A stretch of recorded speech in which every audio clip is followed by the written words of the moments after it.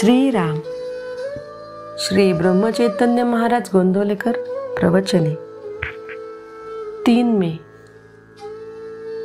निश्चयपूर्वक नामस्मरण आणि चित्तशुद्धी.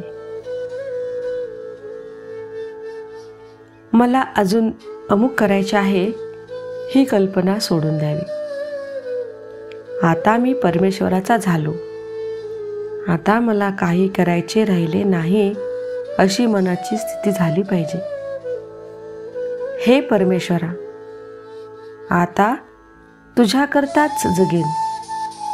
तुझ्या नामस्मरणाशिवाय मला काही कर्तव्ये उरले नाही. असा निश्चय केला तर मनाला समाधान झालेच पाहिजे. नामस्मरण होत नाही कारण वयामुळे मन थकले हे म्हणणे बरोबर नाही. शरीर थकेल. कारण लहानपणी वाढणे आणि वृद्धपणी थकत जाणे हा शरीराचा निसर्ग क्रमच आहे. परंतु मन थकले हे मात्र संयुक्तिक नाही. मन हा परमेश्वराचा अंश आहे. असे आपल्या दिव्य विभूती सांगताना भगवंतांनी सांगितले आहे. मनाची अत्यंत क्षणतेची अवस्था म्हणजे मृत्यूसमयीची परंतु त्या समयीही माझे स्मरण ठेवावे असे भगवंताने सांगितले असताना त्यापूर्वी केव्हाही मन थकले आणि स्मरण करू शकत नाही असे होणे शक्य नाही. पूर्वी सहा सहा तास बसून जप केलेला असेल.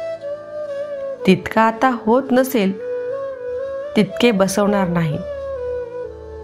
मध्ये मध्ये झोप लागत असेल हे मान्य आहे.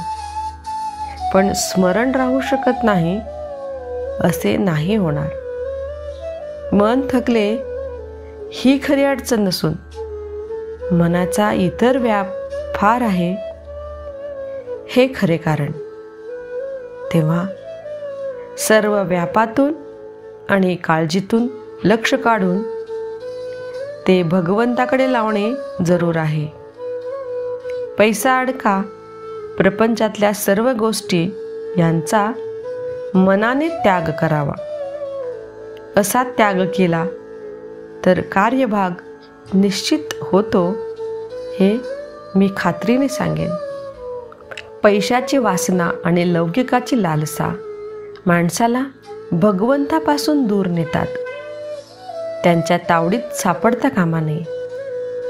लोकेशणा आणि धनेच्छा या दोन्ही गोष्टीचा संबंध प्रपंचात वावरत असताना येणारच. तो टाळता येणे कठीण आहे.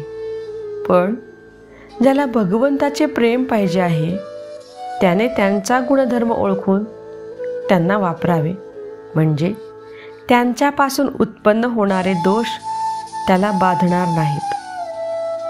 धर्माचरण भगवत भक्ती नामस्मरण आणि सत्संग हे चित्तशुद्धीचे उपाय आहेत. किंवा एकाच शब्दात असे म्हणता येईल की सत्संग हाच याला तोडगा आहे. चित्तशुद्धीचे लक्षण हे की आपल्यासारखे सर्व जग सुखी असावे ही भावना असणे.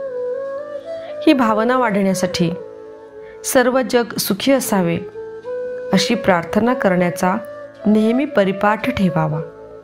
म्हणजे हळूहळू भगवत कृपेने साधेल. अभिमान हा मात्र चित्तशुद्धीत बिघाड आणणार आहे आणि तो केव्हा डोके वर काढील आणि घात करेल याचा पत्ता लागणार नाही. पण भगवंताच्या स्मरणामध्ये अभिमानाचे मरण आहे. म्हणून आपण भगवंताचे स्मरण अखंड टिकवूया आणि आनंदाने राहूया. जय जय श्रीराम. महाराजांचा आजचा विचार. नामाशिवाय जगात दुसरे सत्य नाही अशी दृढ भावना करावी. नामाशिवाय जगात दुसरे सत्य नाही अशी दृढ भावना करावी. जय जय श्रीराम।